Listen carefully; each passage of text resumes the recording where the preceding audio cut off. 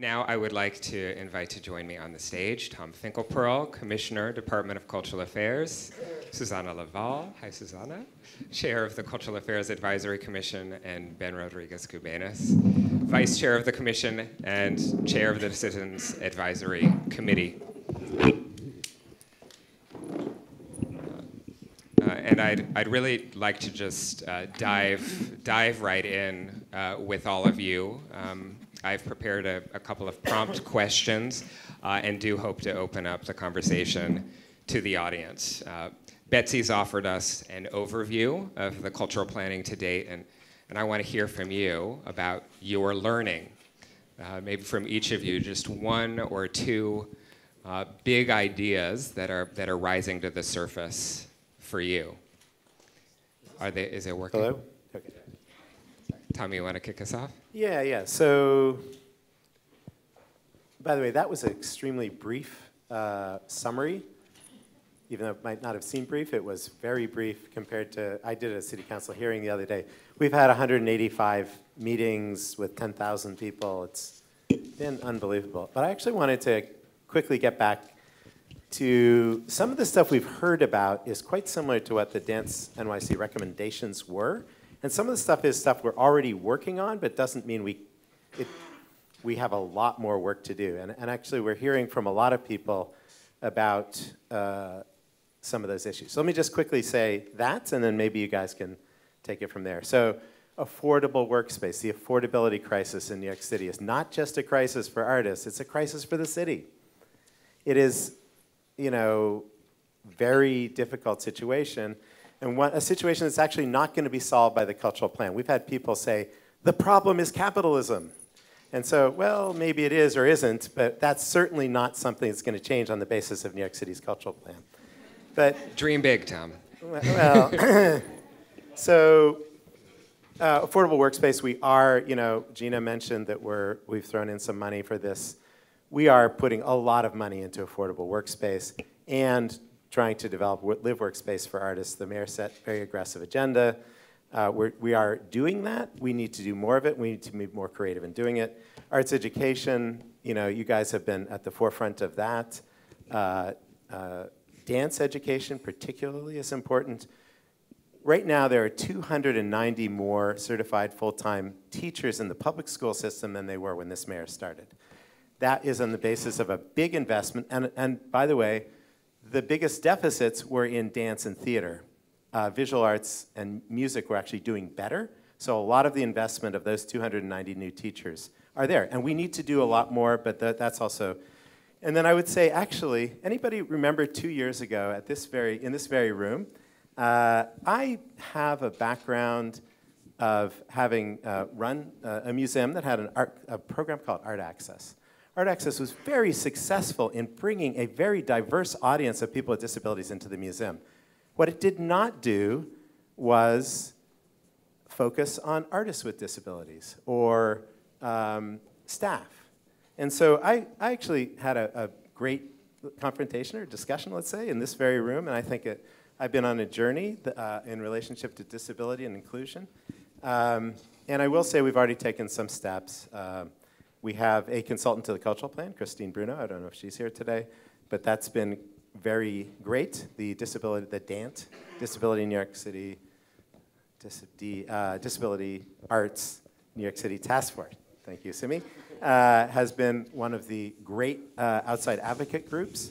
Uh, and we have a new job at the agency, which will include disability as a focus, disability arts. Anyway, I just want to say that some of the stuff that's happened in the planning process is already happening. We don't have to wait until June 30th. Um, and I will say one other thing, that, that there's research. You guys have done research um, at Dance NYC. There's a big research study coming out later this week. I don't want to go into the details because we haven't announced it, but it's the social impact of the arts project. It's been a two-year project um, at arm's length from the agency. It's the University of Pennsylvania doing it. It's privately funded but it's something that we were hoping and praying would, would be ready in time to have input into the plan. Everybody knows that there's a great kind of personal journey you can go on in the arts. Many people understand the economic impact of the arts, but what hasn't been studied in New York in, depth until now is this social impact. Like, what does it mean to communities to have artistic assets and artistic participation? And it actually means a lot in terms of a lot of things that go beyond uh, what it does to your soul. So I just wanted to say that there's stuff happening already in relationship to the plan. I've never been this busy in my life, actually. Uh, I'm a very busy person in general, but this has been crazy. So I really, you know, we're really, July really, 1. What's that? July 1, vacation. July, yes, I'm looking forward. Um, no, but actually then, and I will end it with this. July 1 is the beginning. Really, it has to be the beginning. The, um, uh, if people know, the city budget is, is finished by June 30th. So the day we um, uh, issue the study, the, the, this year's budget will already be finished. But that's when we begin the implement, implementation. The implementation takes the next however long. Uh, well, it's a five or 10 year time horizon. So thank you. That's Thank you, thank you, Tom. Susana, Ben, a couple of, couple things bubbling up to the surface for you. Good morning. First and foremost, congratulations to all of you because at 8:30 in the morning, the energy up here was just like so. And downstairs, starters, too. uh, um, the, the main issue that came up for me through this planning process and, and listening uh, has been clearly accessibility. And um, it is inextricably tied to affordability for all. So ultimately, it's about equity and social justice, which are and should be the end goals of this cultural plan. Um, when I see the, the huge hunger that there is for dance in this city, for instance, I tried to get in line as soon as I thought uh, I could for Fall for Dance. $10 tickets, right? I was number 4,000 something on the line. Well, you know, I actually got in up in, in the gallery, but in fact, I shouldn't get in because I should not, I can pay more than $10. So it, there's something that has to be restructured about that. It, one should, there should be a pay scale. I should not get in for $10. It's uh, someone else who, um, so there, but festivals like that, that make things affordable, uh, are, very, very important. And it also, the only other thing that I thought is, um, I hope, I do not know, all of you know much more about this than I, but maybe Juilliard and Lincoln Center and um, City Center have, have a way of working towards uh, buildings that are used 24-7, so more rehearsal spaces get released and more places for all of you to work and rehearse. Thank you, Susana. Thank you, Susana. And thank you, Lane, for um, inviting us today. And thank you, Gina, for um, hosting us. Uh, so two of the things that have, I think, for me, uh, made it to the surface, um, certainly the equity issue, um, both in terms of the equitable distribution of cultural activities and programming and of resources as well. The affordability of uh, living and working in New York City and connected to the space issues that have been um, also highlighted this morning. Um, but let me just uh, talk a little bit about the role of the Citizens Committee and the process, I think many people are curious about what that is and how we work together. So the Citizens Committee was uh, created after the legislation, and um, it is uh, composed of many of your peers. Uh, there are, uh, the politicians are ex officio on the committee, so um, we work very closely, I'm the chair, we work very closely with the commission, which uh, Susana chairs, and we meet regularly, and we are taking this very seriously, especially the public engagement piece. Um, as you heard from Hester's collaboration, there have been hundreds of gatherings, and uh, the commissioner and the DCLA have been very, very open to hearing from everybody who will talk to them. They've instituted office hours. Um, we've gone to many of the community groups. I, have, I went to the one in Brooklyn, and uh, the turnout was amazing. Um, so we're all taking this very, very seriously. We are meeting regularly. We actually have joint meetings with the commission. Um, and it's a process that I think at the very end, uh, obviously the cultural plan cannot do everything for everyone, and it is not going to be, as Tom said, is really the beginning when this cultural plan comes out. Um, it is recommendations. It's not going to be voted upon. It's not going to become legislation or anything like that. But uh, I know that everyone in the city council and the mayor, uh, uh, Tom testified, uh, testi- testimony this week in city council, really highlighted the extent of the activities that have taken place and what we're learning. So um, it's really, you need to participate and make sure, as Lane has done with his recommendations, uh, that your thoughts and what you want for the city's cultural plan to look like to be part of that process. So that's what I really would en- encourage everyone to, to do. Thanks. Thank, thank you, Ben. And that might be a nice segue for us into to opening up the conversation a little bit. Just as a way into this, I, I might ask you, it's, what can we tell you that will, that will help? What do you want to hear from the dance community here today? You've, I mean, I think you've done a good job. yeah, actually. So I mean, I think some of the communities have been more mo- mobilized than others. I think that you know, Lane, your recommendations came out of a, a, an engagement, but I feel like if there are uh, parts of the recommendations that you haven't heard voiced, that's what we need to hear now. We, you know, there's some things we expected going in, and other things we didn't uh, understand. For example, uh, you know, after the plan was already underway, there was a tragic ghost ship fire, at, you know, which killed 26 artists in San Francisco. You know, there, there's a DIY community in New York City that has turned out to be extremely well mobilized uh, and is giving us a bunch of recommendations to make sure that that doesn't happen. You know, how is it is it compatible to have a robust, let's say, party uh, slash um, warehouse party slash you know live work space, et cetera, environment in New York City that's safe, and so so that wasn't expected. Um, but I think it, so what is those unexpected things, if there are communities that you're part of that haven't been heard from, there's still time. We're in that engagement phase. Uh, as I said, dance has been extremely uh, well organized, and we really appreciate the folks who put all that time into it. So, Thank you, thank you, Tom. Shall we, shall we open it up to, to all of you? Do I have comments, questions from the, from the audience? Joan. Hi, everyone. Joan Kupferstein from the Harkness Foundation. Can you all hear me? Yes. Okay. But use the mic. Should we, is interest of recording, Is do there, we need to? is there a mic? No, I'm, I'm good. I'm good. It- It's the lunchroom voice.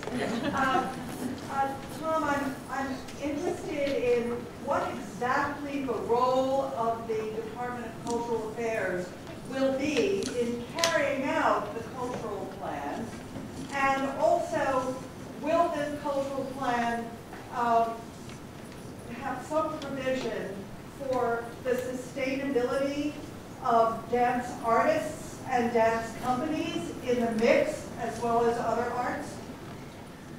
So it depends. So the question related to, I think people could hear the question in relationship to what's the Department of Cultural Affairs role. I mean, some parts of it are, we're leading the way, other parts we're not. Paul King is here today. He's in charge of arts education in the public school system. We're not the dance in public school system uh, facilitators. That's DOE. Uh, but we are very much in contact with DOE, and one of the major important things that, that's happening is much better communication. Look, DOE is an exception. I'm already in direct contact with Paul all the time. But many other agencies where there are actual implications, the Department of Health and Mental Hygiene has 14, we had a conference call with 14 different people at that agency who are dealing with arts and culture we don't have a direct line and we don't have a specific coordinator at some agencies. So a lot of it happens at other agencies. There are also things that should be enacted not by government. So the plan is not just for us, it's for us and other agencies and the city as a whole. So we, we're sort of the, the gatekeepers in a way, and the plan, you know, the citizen, Ben's committee, Susana's committee is a permanent committee, charter mandated. Ben's committee, uh, commission, I'm sorry, the commission, the committee will continue to meet and, and watch and see if we're actually getting towards the goals. Uh, so that is, you know, so it's going to continue in that way. We have oversight. And, and by the way, half of the committee is appointed by city council, not by cultural affairs. And then in terms of, you know, your other part of the question, I think that the, um, sort of the part of the question that I'm, I'm remembering has to do with sort of the ongoing viability, for example, of dance groups in New York City. look, we have uh, information, and this gets some of it back to just affordability questions. How can we foster the affordability?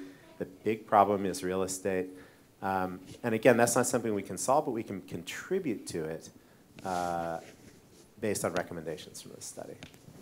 Joan, if, if, if I heard you right, you were also asking the question about discipline, um, which is which is to say we're getting the mac we're getting the macro perspective on what's bubbling up in the in the cultural planning process. But how are you all thinking about creative disciplines um, and how and how they are all um, expressly and equitably included in the in the recommendations, and what's the role for, for dance in here? Do you have? So I mean, I could just say one thing. So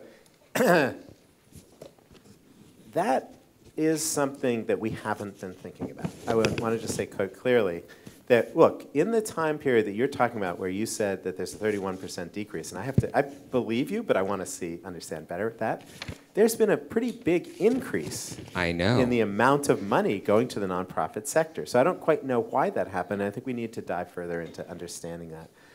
Look, I mean, we got an extra money. The, the CDF money has increased uh, well, and also the, uh, the city council initiative's gone up exponentially. It's very surprising to me that it's gone down that way. So uh, again, we look more broadly that we have the panels haven't changed. I don't know why it happened. We have to find out. Thank you. So I think uh, different communities, different uh, disciplines have organized better than others. Um, so some have been very active and very vocal. Um, others have not. Uh, it's still time to engage for those that haven't. Um, how the disciplines will be uh, identified or the issues uh, within each identified in the actual plan itself, we haven't really gotten there yet. We're still gathering all this data, gathering all this information. Within the next month or so, when we actually start drafting the plan, I think we'll have a better idea of exactly what it's going to look like. Um, in terms of the committee, uh, we're mandated to stay in place for five years. Um, so we will be looking at the recommendations and um, going back and making sure they're being implemented over the next five years. And by the way, there are very low thresholds for the number of times the committee is required to meet. But if Ben is the chair, I'm sure it's going to meet. It's, we've been meeting We've been meeting monthly. Which is way more than required. Um, the other thing I just want to say, one of the big issues that's also come up, which I'm sure will resonate in this room, has to do with, with paying artists and paying uh, a living wage to people who work at cultural institutions, especially no, small nonprofits. So we are thinking about that. Uh, the other issue that's specifically related to dance, I think, has to do with career transitions, which obviously uh, might be more of an issue in dance than some other. Thank you. And Susana, you had. Um, I came to New York um, a few years before um, Baryshnikov came to New York. And I remember those years as glory days of, of dance as a discipline right front and center in, in the world. Everybody wanted to be a dancer. We need to get back there as a discipline because the spotlight has to be back on you. And of course, everybody talks about the arts in New York, but I think more needs to be said about dance as a discipline. Um, you know, I'm from Puerto Rico, so I grew up in a dancing culture.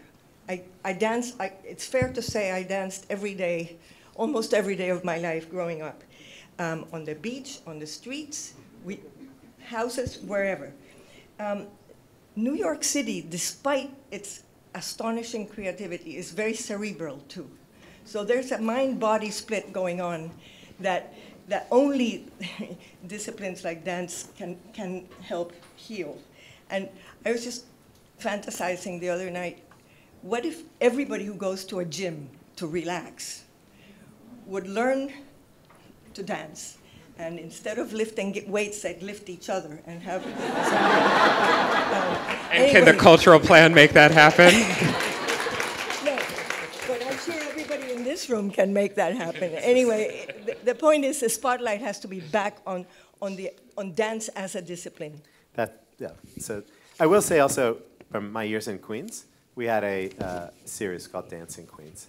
And that was both uh, a of residency program for contemporary dance, but also included dance schools. So pretty much every uh, immigrant group in New York City that I've come in contract, uh, contact with has a dance group. So Mexicanos Unidos de Queens is essentially a dance organization at this point. It went from being a sort of immigrant oriented to, to really the best thing they did was dance, and it got better and better and better. Um, and I've many times uh, referred to the Sri Lankan dance group in Staten Island, which uh, I met after having sort of speculated that they might exist, big Sri Lankan community. They finally became a nonprofit. There's a lot of dance. When you think of New Yorkers and New Yorkers and dance, you have to also consider those dance groups that are that are within communities in the boroughs. Yeah. Well, you, I went to see um, a, an extraordinary group that dances in the Queens Plaza. It's called Women Who Dance, and I think you started that as part of Uh, a, some en Movimiento, yeah. and women who dance, and it wa- it's all women who they get together three times in the morning for two hours each, and they dance, and it's therapeutic. It's women who have been either abused or raped, or it's it has an astonishing, and it was the most joyful two hours of my life. Yes, in Corona Plaza in Corona. Thank you. I know I've seen a, a couple hands that I want to get to. S- Simi? Hi,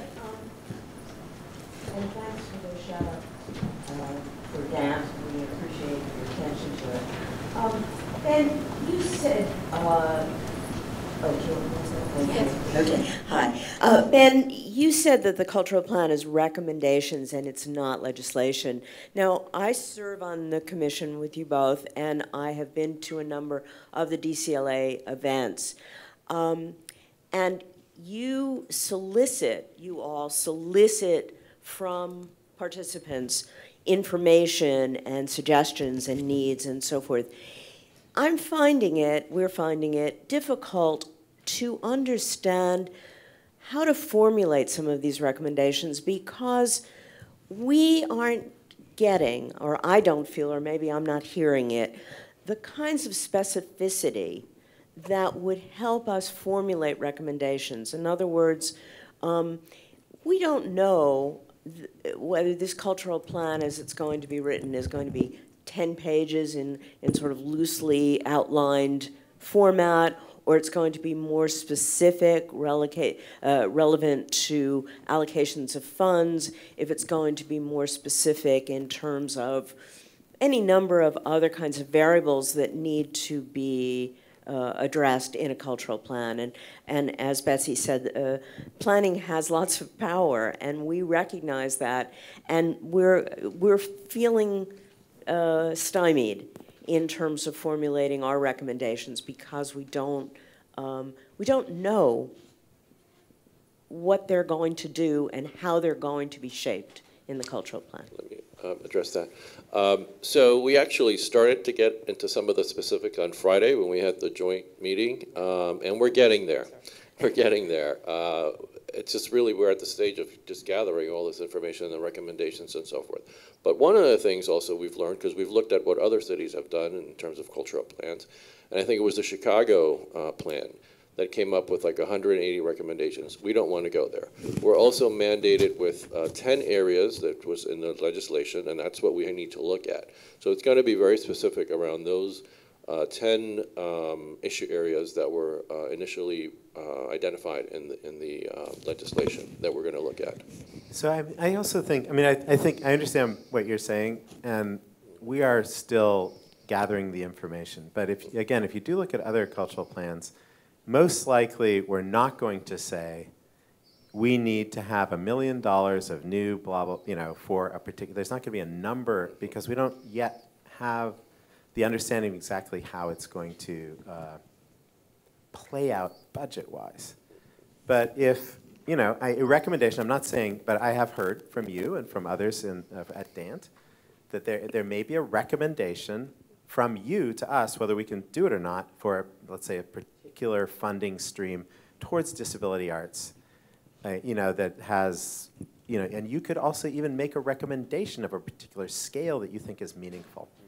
Um, that doesn't mean it's necessarily, and then we have to, you know, we're digesting it all. And what we're doing is we have now thousands or tens of thousands of data points of recommendations that have come up with the 10,000 people we've met, the tens of thousands of people we've met online. And we're looking for the patterns that say that the city as a whole recommends A, B, and C, right? So, I mean, you can bet we are going to have disability arts in this plan. It has been left out of other plans, it's not going to be left out. How specific we get is the question in terms of the recommendations. I don't know if that. Simi, what do you think about a specific funding stream for disability arts?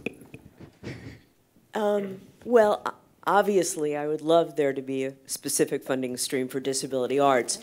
Sometimes what happens, though, when, when funding streams are allocated or initiatives are allocated specifically for one group, uh, then they get shortchanged in other groups. And so, as long as there's an understanding that there needs to be a recognition of intersectionality in every kind of issue and guarantees of equity in vis-a-vis disability in other allocations, of course. And disability costs money, um, from our wonderful interpreters to other kinds of access features to other ways of looking at uh, inequities vis-a-vis disability. There are costs, and an allocation of funding would be necessary, and it's something I'll be talking about a little bit uh, in our session uh, later. But uh, of course. Thank you. Thank you, Simi. Are there, I see a hand up, up there. Yes.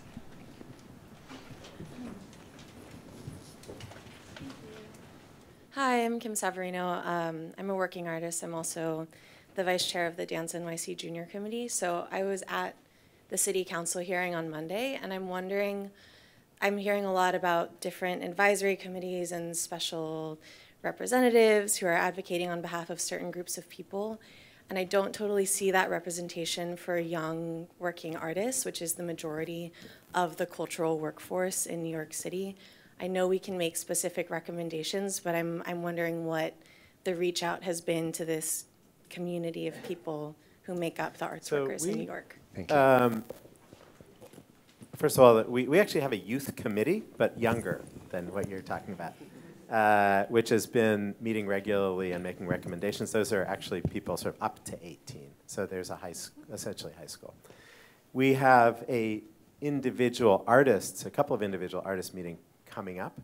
I anticipate, uh, uh, well, you know, so it hasn't been, we haven't had a particular group for young artists. We have had, we have, by the way, done a, a, a convening around aging in the arts. Um, but so maybe you can get involved and. Can and we come- have one? Yeah, sure. Yeah. So yes, you've got a new assignment. Um, no, no, I will say no. This is important.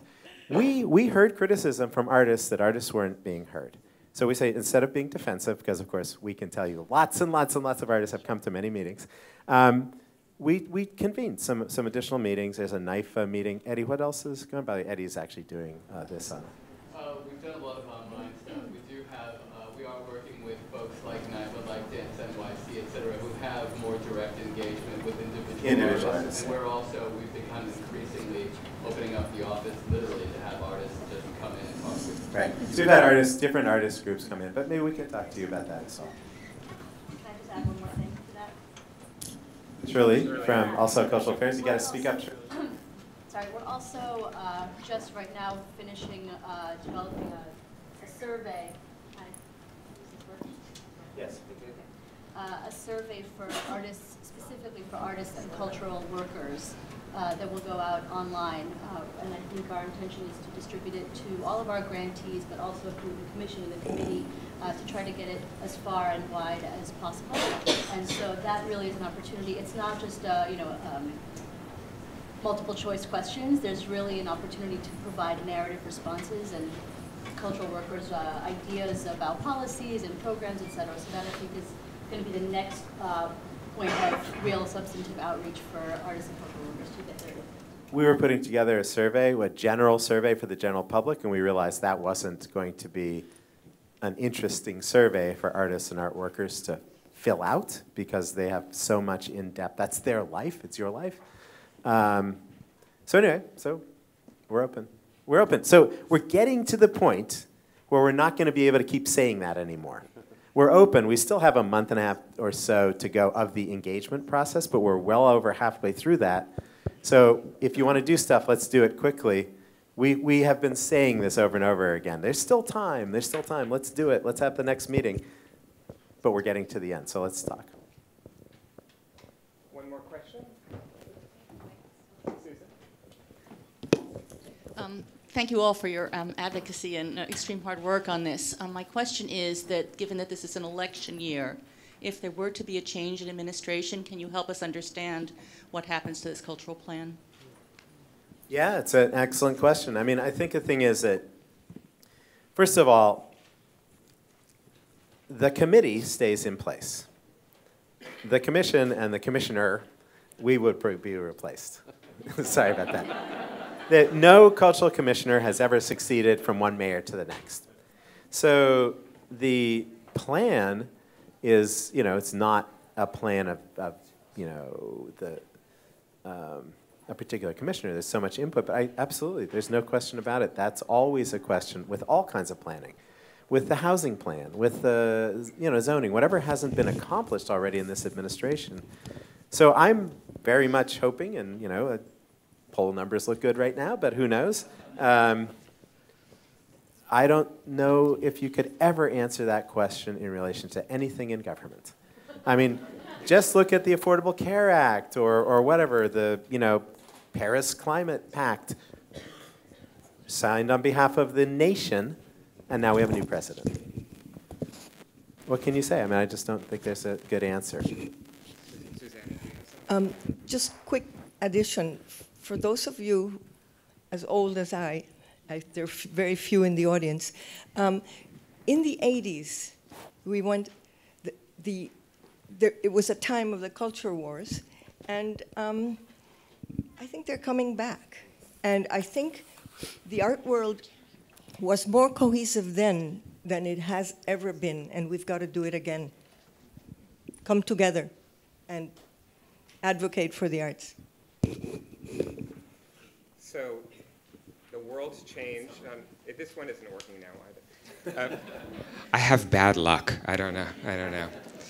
Um, though the world changed on November 8, too, right? So the, the other question that I would I would offer here is how you how are you thinking about the cultural plan in relation to the national context and what this opportunity for leadership is and could be, given the shifting political climate.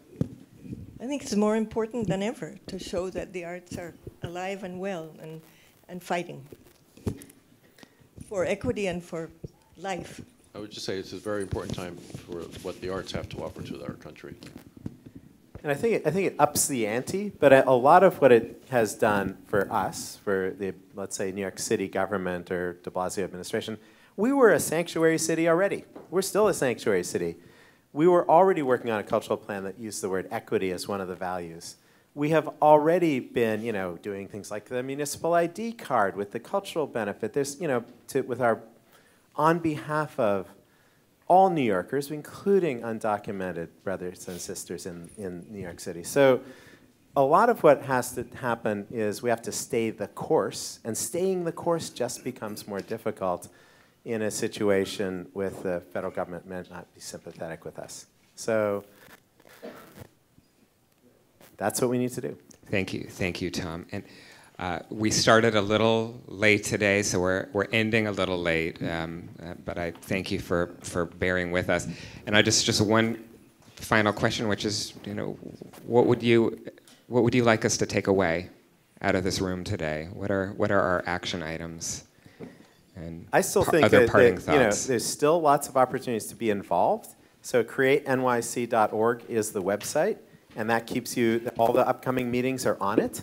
Uh, fill out the surveys, and when the um, rec- draft mec- recommendations come out, be kind.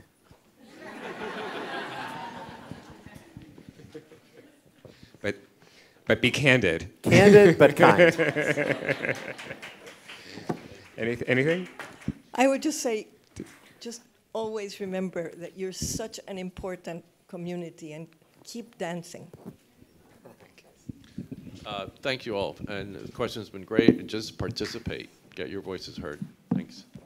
Thank you. Participate, keep dancing. Thank you. Thank you, Tom. Thank you, Susana. Thank you, Ben.